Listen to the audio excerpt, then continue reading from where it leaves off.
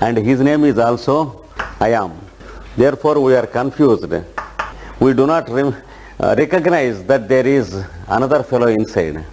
This another fellow can breathe while we are sleeping. He can make our heart work while we are sleeping. He can make our food digest while we are sleeping. So, he is different from the first fellow whom we know. To differentiate between the two, the second fellow is called the Lord. The first fellow is called the human fellow in us. The first fellow is helpless, whereas the second fellow is all independent. And this is the fellow who is meant, and we have to make a total surrender to this fellow. And the total is the mind and the senses. All these things are to be surrendered to him. How to do it? Is it enough if we think of him? It's not enough. He was there working long before we began to think of him. And the same fellow is living in every one of us in the name of the Lord. There are no many lords, there is only one Lord in whom there are millions and millions of minds and senses and bodies. And just as we have many uh, cups, containers immersed under water, each, cont- each container contains the same water, though each one contains its own water. Similarly, all of us contain the same I am in us. Though every one of us has a separate I am, who is a very busy and foolish fellow.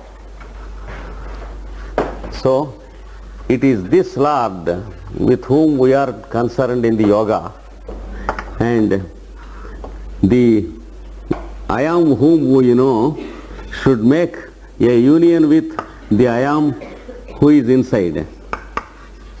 First of all, he should make a union, then he should make a communion, then he should make a unity or oneness or synthesis.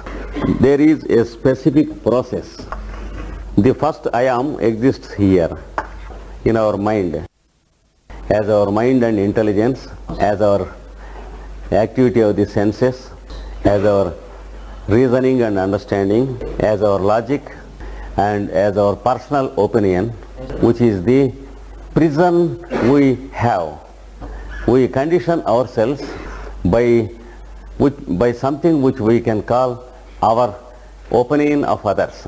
So everyone is a self-conditioned prisoner. And the second I am, who is the Lord, he exists somewhere here. And when this fellow stops for some time, the whole constitution lives because this fellow is working. For example, while we are sleeping, let it be 6 hours or 8 hours or 10 hours. But the moment this fellow proposes to stop the heart or lungs, this fellow disappears and there is no one to find his address.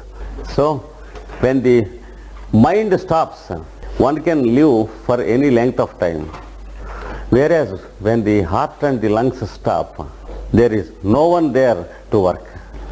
And now the sole purpose of yoga practice is to bring this fellow here. That is the most difficult task. For one who does not know the procedure, it is impossible. Suppose you ask him to think of a center here. He begins to think about his heart. Within a few seconds, he remembers his friend who is also doing the same thing. The mind has escaped from the heart to the friend. And then he fears if his friend is a greater success. And in the next moment, he is intensely jealous that his friend is a success. What have you asked this fellow? To think of this place. What has he done within two, a few seconds? He is feeling a great jealousy of your friend and making a pain in your heart. So, unless we know the process, we can never achieve this. People say, concentrate mind, either here or here. People practice for 10 years or 20 years. If our friends ask us how far we are successful, the answer can be only just, I think it is a little bit successful. There is no one in this world who can say, I keep my mind for half an hour on my heart. Not that it is impossible, but we are not trying to know the scientific procedure and follow it. Now here, Kriya Yoga gives us the path. It advises, address the Lord and call Him. Call Him by name. Then He begins to call you. There is a technique in doing this. We should know His name. His name is Om. That is what is given in the Kriya Yoga steps of Patanjali Yoga. We should utter Om and then the Lord begins utter Om from within. We should have some patience until He begins to call us. When once He begins to call us, that means yoga practice is getting established in us. Until then, we have to go on calling Him. How to call this? Call Him. You should vocally utter Om and listen to your own voice. You should do it in a systematic way. Select a place, make it clean and keep it pure by having only positive thoughts about others. And then select a time which is convenient for you to practice. Whatever may be the time, you have to stick on to the same time, hour and the minute. It is enough if it is even 15 minutes. Better if you have more time, but if you don't have more time, it is enough if you have 15 minutes. And sometimes you may be in a journey during that time. Even then, you do it. If you are in the train, close your eyes and do it. If you are in an aeroplane, close your eyes and do it. If you are in a work or a duty, in some work or duty, then close your eyes and do it. If your duty does not permit you, then for a, for a moment you offer yourself to your Lord and then continue doing your work. But you should make it a regular habit to do it. So sit in your room, close your eye and sit in a comfortable posture. Observe if your my, if your nerves and muscles are relaxed. From head to foot, relax all your muscles and nerves. And then you begin to observe the movements of your respiration. Then automatically this fellow begins to approach him. But daily you have to do it. That's the reason why we have to observe as far as possible that our routine is not disturbed and we do not make any journeys because we are helpless when we make journeys. Suppose we are the guests of a person who does not believe in God and prayer. We have to do it in mind, not doing outside. Therefore, keep the timings carefully and then begin to observe the movements of your respiration. Gradually the mind comes to the heart and automatically the mind begins to rest there. And after two minutes of this practice, you make your respiration slow, steady and uniform. Let your respiration be made soft and let it be uniform. One of the injunctions of Kriya Yoga given in Bhagavad Gita is understand that there is an inward pull of the respiration and there is an outward pull for the respiration which are automatic. They are creating the exhalation and inhalation. How the automatic process is applying to your lungs and make it uniform. Let there be a rhythm in your respiration. Just as the musician establishes a rhythm in his song, you begin to establish a rhythm in your respiration which was there in your childhood, which is disturbed when you are growing in age. Whenever there is some fear, it is disturbed. Whenever there is anger, whenever there is jealousy, wherever, whenever there is suspicion, it was disturbed. And we disturbed it thousand times a day. And after a certain age, that is about for 35 or 40 years, we find that there is no rhythm in our respiration because of a continuous misbehavior with our thoughts. Again, establish the rhythm by making a soft, slow respiration. Begin to breathe in continuously with a uniform speed and softly as much as you can without any discomfort. When it is full, you stop it and then make the exhalation in the same way, slow, soft and uniform as much as you can without any discomfort. Stop it. Again do it. Like that you make three respirations. Then leave it free for a few moments. Again make three respirations. Leave it and again make three respirations.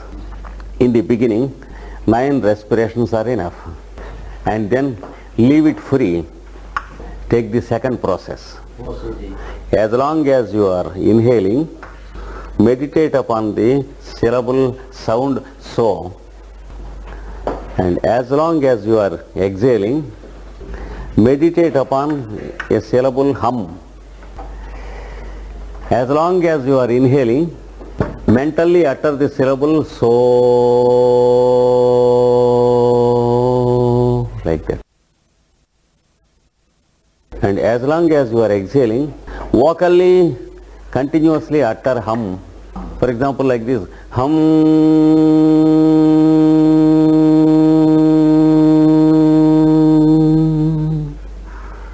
Listen to your own voice, without which the practice is a waste. This is the second step. Do it three times, leave it free, again three times, leave it free and again three times. This is the second step you are to practice. And the third step is mentally utter Om as long as you are inhaling and utter vocally the same thing as long as you are exhaling and listen to your own voice while uttering. Om.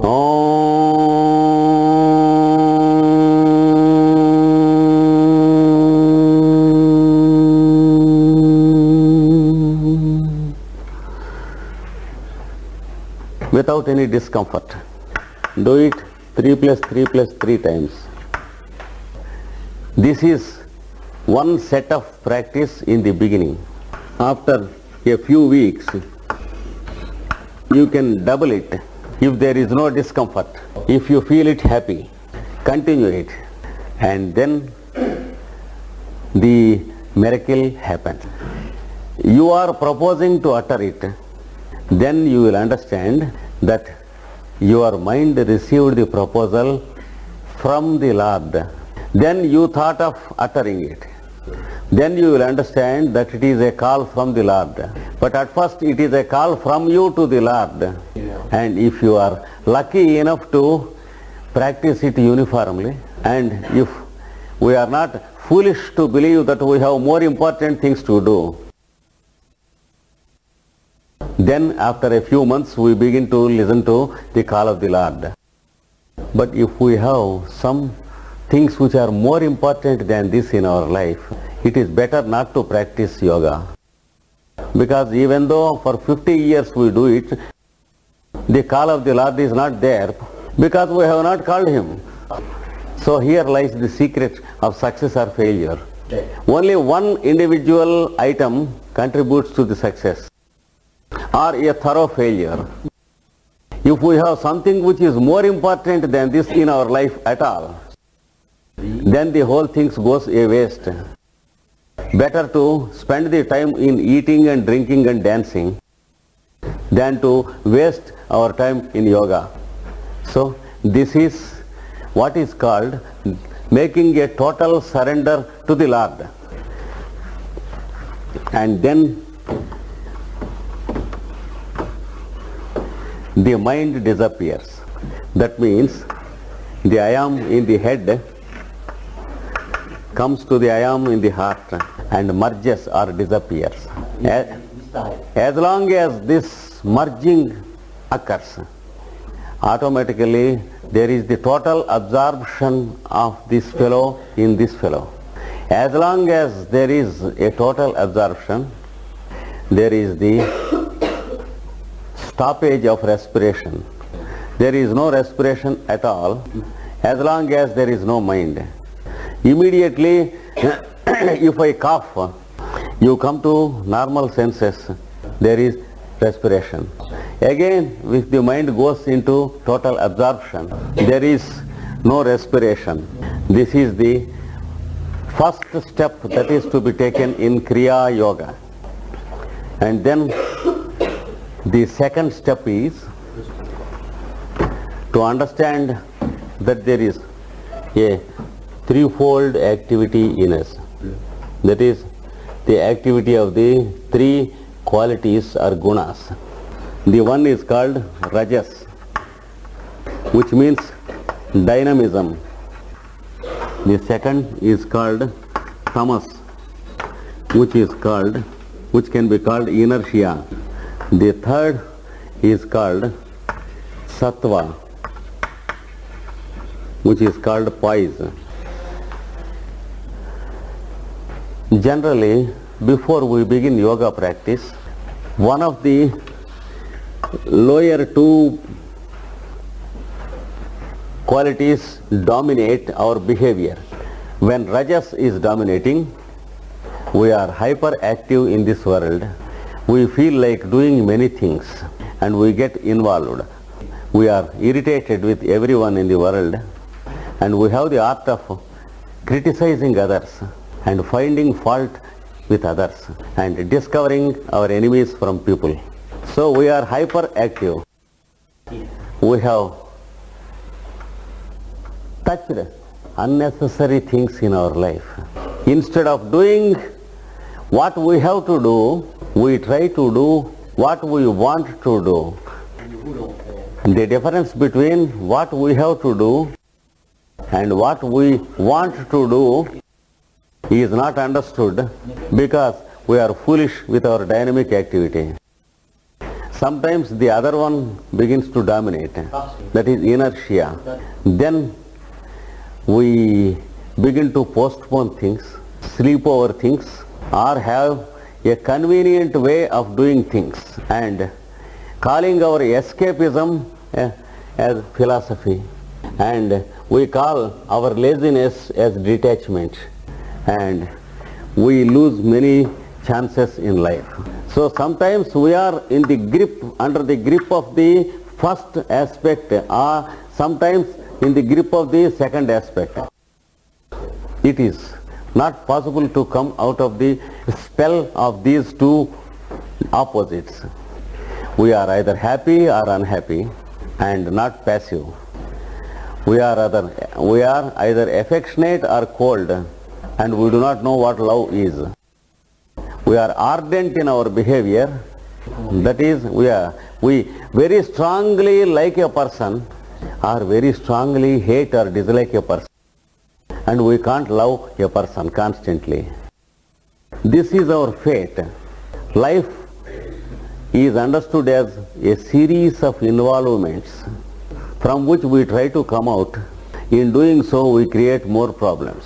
And when we begin to practice the total surrender to the Lord, for the first time we begin to touch the third aspect, that is poise, where these two opposites are exactly equal in their application.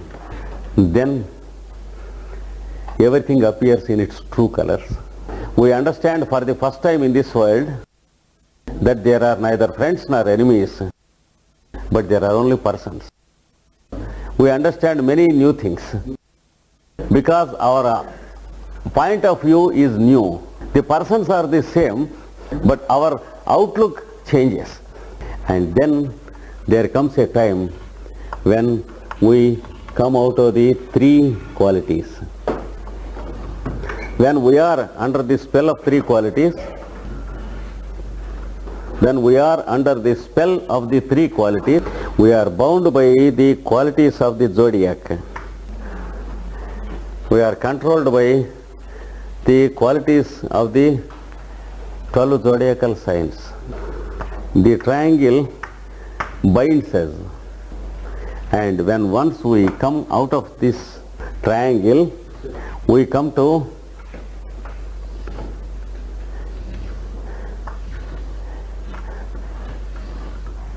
a six-fold application of the zodiac. Aries and Libra, Taurus and Scorpio, Gemini and Sagittarius, Cancer and Capricorn, Leo, Aquarius.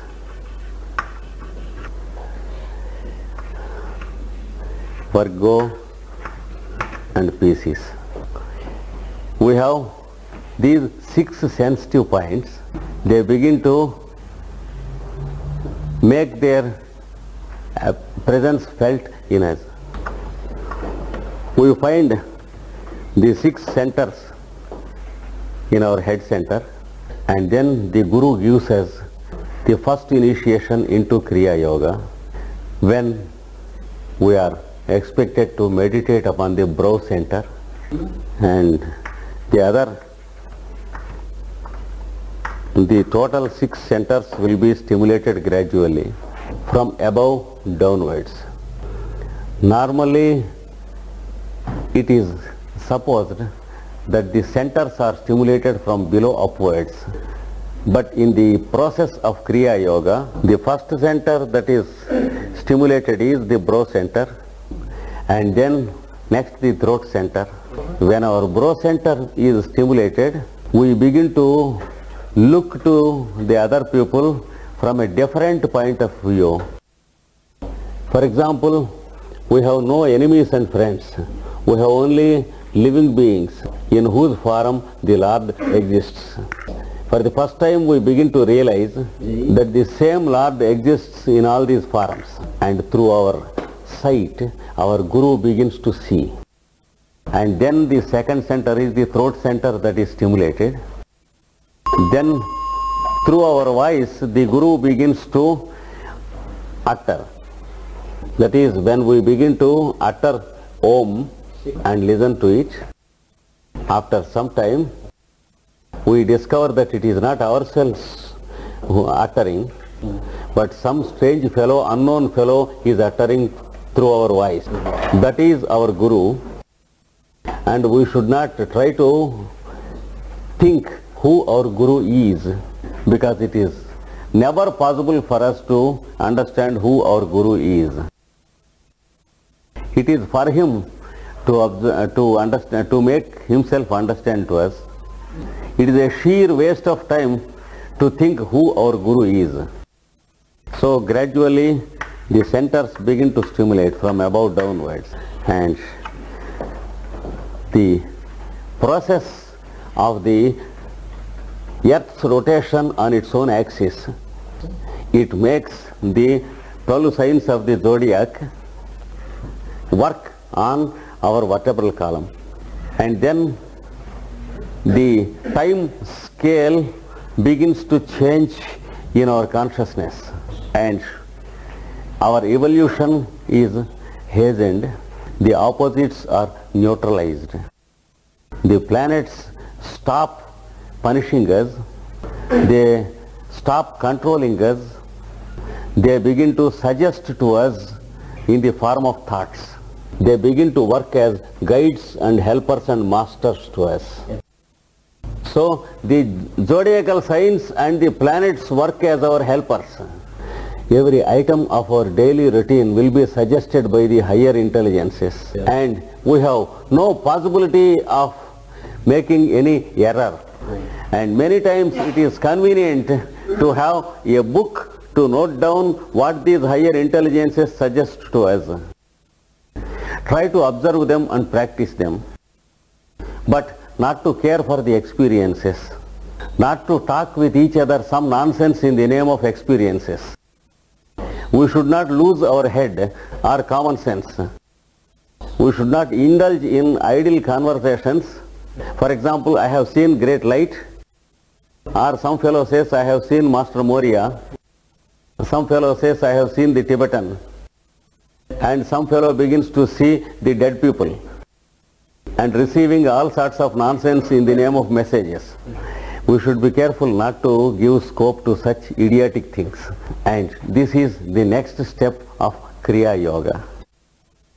And the advanced steps, there is no use of describing them because they are a matter of experience.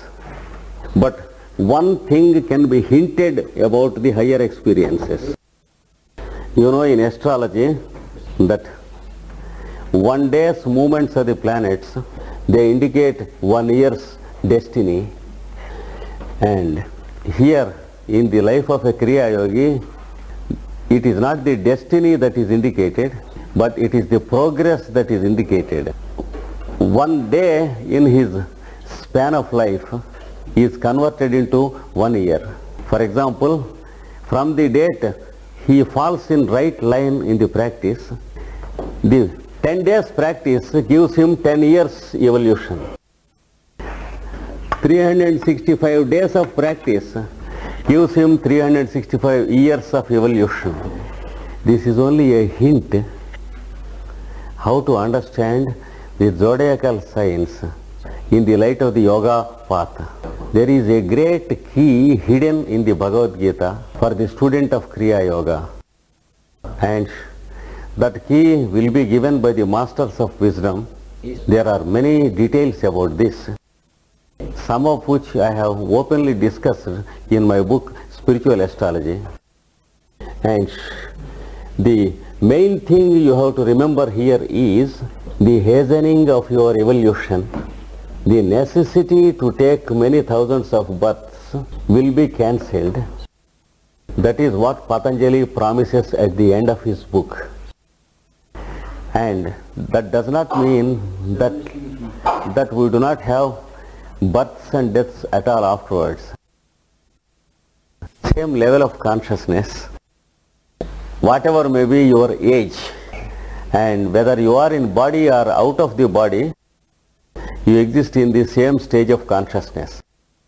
And this secret of applying the chakra of the planets and the zodiacal signs to the six chakras of your vertebral column, it exists in the Bhagavad Gita and it is given by the masters of wisdom to the disciples. And only one fellow hinted about this till now. It is one of the faithful followers of Madame Helena Petrovna Blavatsky. His name is William Q. Judge. His articles were published under the name The Vernal Blooms. And there is one article under the title The Bhagavad Gita and the Zodiac. He has hinted about these secrets in that article, but he was not permitted to give out the secrets. If at all there is a book till now that is that has hinted about this aspect of Kriya Yoga, it is only that article of William Q. Judge and no other book at all. But we have fund of information in the yogic textbooks, the sacred books which we call the Tantras. Unfortunately, in the Occidents, these books are understood in a awful, awfully wrong way. Many beasts of sex understand these books as yoga of sex. But these books are to be are understood carefully. They are not to be read by those who are beasts of sex. These books are intended for sacred people and their children and they contain all the secrets of Kriya Yoga. And more than this, it is not possible in one lecture. It is enough if I conclude with two remarks which are very important. One is the utterance of the sacred word and the other is the hastening of our evolution. These two are the main features of the purpose of Kriya Yoga.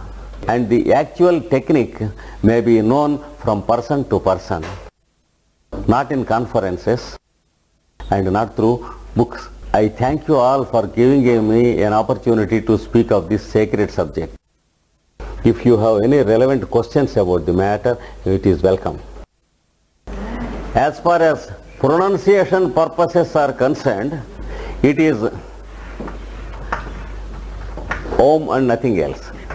There is also A, O, M, but that is not for pronunciation purposes. That is to understand the basic principles of Om